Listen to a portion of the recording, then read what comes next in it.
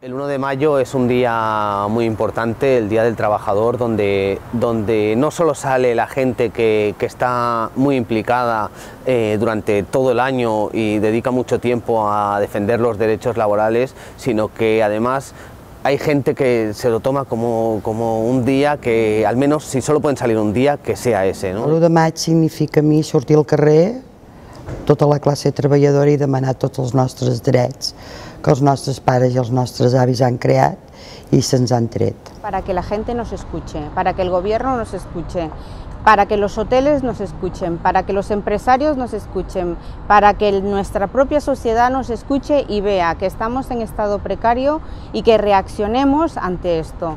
Salir a la calle significa unificar nuestra lucha, unificar nuestros corazones. Ahora se están creando nuevos modelos de empresa que bueno, que están dando unos sueldos y unas explotaciones brutales y al final todo esto está derivando a ser los nuevos esclavos del siglo XXI.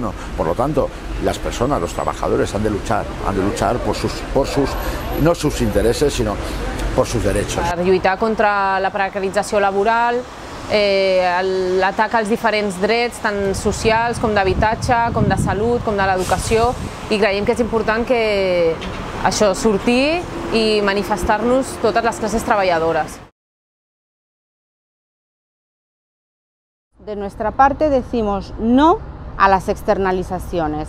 De momento hemos llamado mucho al ayuntamiento y en esta última semana de manera más, más incesante para ver si nos atienden y nos contestan, pero no ha habido, de momento no ha habido ninguna respuesta. Doncs es va aconseguir una cosa històrica, que va ser derogar un decret llei, que només s'han aconseguit dues vegades a la història, però encara ens queda molt de treball i, i molta lluita pues, pues per aconseguir el nostre objectiu. Ha d'haver-hi una reforma de l'estima marcada per Europa i s'està intentant pues, treballar aquesta reforma amb els diferents grups parlamentaris. Después de casi un año y medio desde que terminó la huelga, han habido algunos avances, eh, algunos trabajadores han conseguido entrar en las contratas, sobre todo los que estaban más precarios.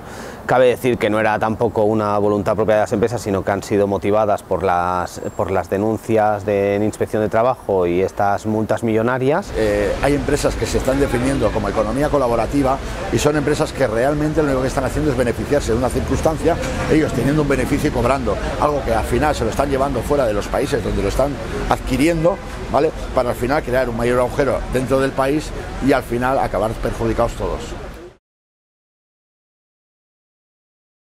La lluita col·lectiva, sortir al carrer, manifestar-se i penso que estem en un punt on hauríem de fer tota la classe treballadora una vaga general.